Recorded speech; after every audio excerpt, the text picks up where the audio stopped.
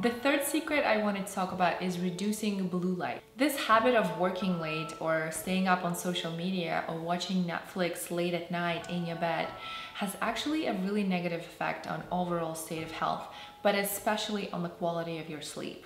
Because your devices produce blue light, the blue light actually affects your brain and it interferes with your circadian rhythms.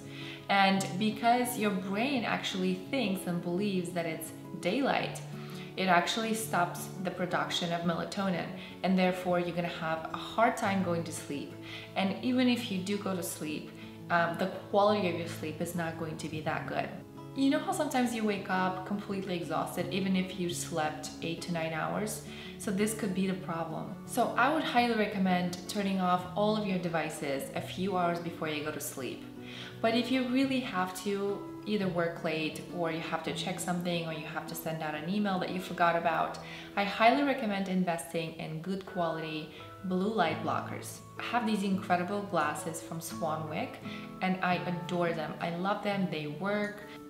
I've been experimenting with these glasses for about six months and I can tell you 100% they work. Put these glasses on and they're actually going to block all the blue light that is harmful and that is disrupting to your sleep.